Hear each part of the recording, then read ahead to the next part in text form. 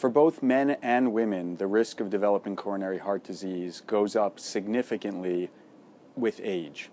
At any age group, women have a lower risk statistically than men.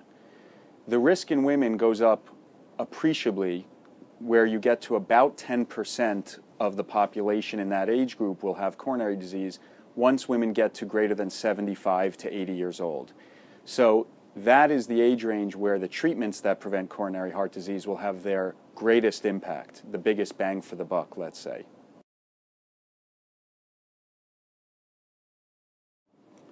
Coronary heart disease is when you develop buildup of cholesterol in the arteries bringing blood to the heart. We call these plaques, and the disease process is termed atherosclerosis. If that happens suddenly and you get an acute closure, we call it a heart attack. If it happens slowly and causes a gradual narrowing, we call it angina.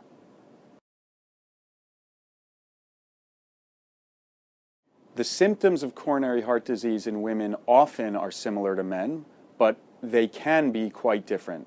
Chest pain is the most common symptom, and pain can mean discomfort of any type.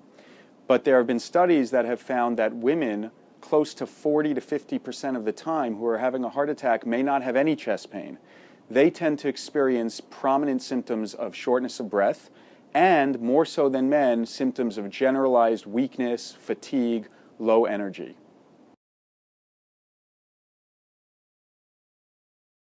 The risk factors for coronary disease in women are much the same as men, although they carry different weights in some cases. So for women, the risk goes up with high blood pressure, high cholesterol, diabetes, cigarette smoking, or having a family history of early coronary disease. But in women, for instance, they are at a significantly proportional increased risk for heart disease if they have diabetes than men. For instance, women will have triple the risk, whereas men will have approximately double the risk. While those are the major risk factors for coronary disease, there are other factors that do increase the risk somewhat in most studies.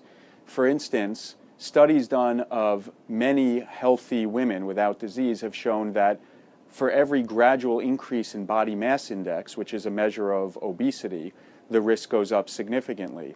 In addition, women who are sedentary or exercise less have a higher risk than those who exercise even in some studies less than an hour total per week.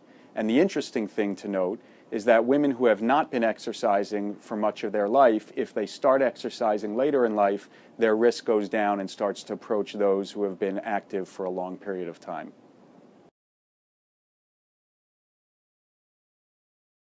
Detecting coronary heart disease in women utilizes techniques similar to men. The bread and butter technique is stress testing, where somebody walks on a treadmill and you look for changes in the electrocardiogram or EKG that suggest an underlying blockage. In some women, the test should be combined with imaging studies like ultrasound of the heart called echocardiogram or nuclear stress testing, which provides additional information and increases the likelihood that you'll find a problem if one is there.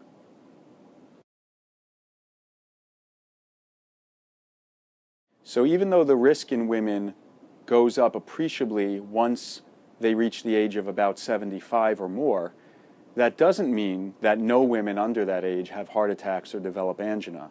In fact, any doctor who's been taking care of a lot of patients has seen women in their 40s or 50s and sometimes 30s come in with heart attacks. The risk might be only about 2 to 5% in those age groups, but the trick is to try to find those who are at risk of that happening early and prevent it from happening.